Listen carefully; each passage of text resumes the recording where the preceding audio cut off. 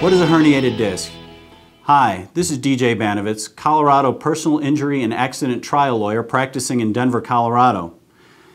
If you've been involved in an accident, you may have been told by your doctor that you have a herniated disc and are wondering, what exactly does that mean?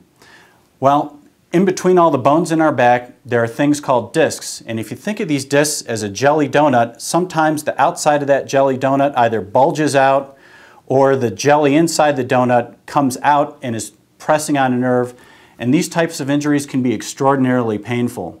Why am I telling you this? Because in all likelihood, if you're watching this video, you've been in an accident and may very well have a herniated disc, and I've handled many of these cases. Call me, DJ Banovitz, at 303-300-5060, or email me, dj at coloradoinjuryfirm.com. Thanks for watching.